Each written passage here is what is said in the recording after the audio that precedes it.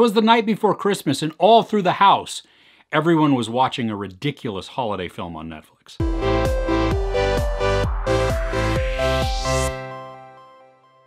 An English medieval Knigget is magically transported to modern day times where he encounters a young woman who has kind of lost her faith in love. To return to his own time, he must complete a quest, albeit a vague one, to prove that he is worthy of being a Knigget. The Knight Before Christmas stars Vanessa Hudgens, Josh Whitehouse, and Emmanuelle Chriqui. It's a romantic holiday comedy that's not really romantic or comedic. The jokes in this are stale. I mean, every bit of this film we have seen before. And then even that, none of it feels fresh or new or even unique. I mean, every bit of it is just a rehash of something else we've seen. Now, I know that it's sometimes in romantic comedies, they reuse stories or they make very simple stories. And sometimes that's not a bad thing, where you can make it feel fresh or new in a, in a different way.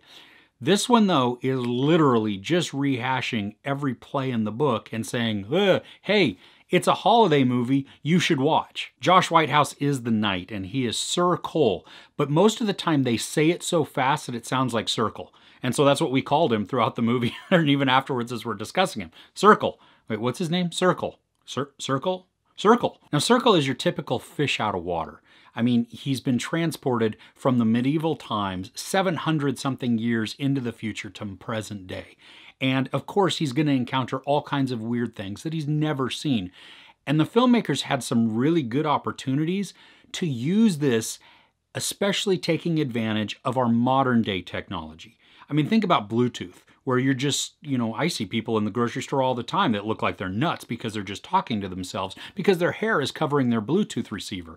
And then, well, okay, so he could have, you know, they could have had fun with that. Or what about a demon possessed floor monster that goes searching for its next prey? It just randomly scoots around the floor, unmanned by any seen force, until it grabs something and it just keeps bouncing back and forth. Or what about remote starts on cars? I mean, well, cars for even that matter, the dude isn't even really impressed when he first sees them. It just, everything is not taken advantage of to the best of its ability. They must have had a deal with Amazon also, which is kind of weird being a Netflix thing and Amazon Prime is kind of a you know, kind of a conflict or at least a competitor in this streaming market, but they use Amazon Alexa. And they could have even had a lot of fun with that, but they didn't do it to nearly as much, and the jokes that they used with that, eh, they weren't really funny. And the romance in this romantic comedy isn't even that engrossing, which seems like it should be kind of the main focus if you're gonna call it a romantic comedy. I mean, even if it is a holiday romantic comedy, the, the emphasis is on the romance, and it was just kind of barely there. You get the sense that Vanessa Hudgens is pining after somebody else, but then also kind of falling for the knight. And he, while maybe falling for her, is also trying to get back to his own time. So, you know, I guess there's a little bit of conflict there, but it's not really expressed well. Now, despite all of this and everything that I just didn't like about the film, there was one moment that got me. I mean, it actually choked me up a little bit. And I don't know if that's because I'm a sap or maybe just because I'm a dad, but there is a scene where a single dad is given a gift by the entire town. He's struggling and it was just touching. And at that moment, the emotion seemed real. It felt real. It felt good. And for the one time in this film, it was like, ooh, I appreciate this moment. So this is definitely a cheeseball movie that should be background. I mean, but even if that, there's many better things on Netflix, even holiday themed on Netflix that you can be watching.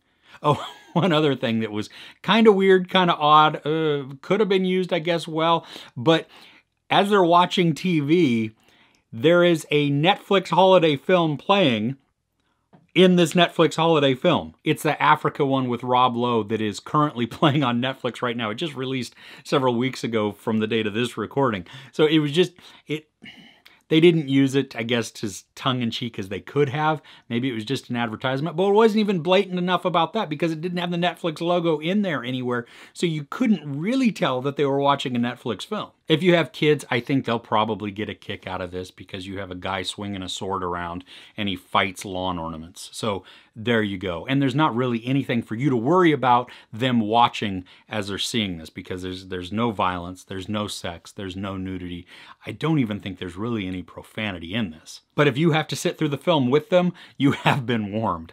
I give The Knight Before Christmas one and a half out of five couches. So what is the worst holiday film you've ever seen? Let me know in the comments below.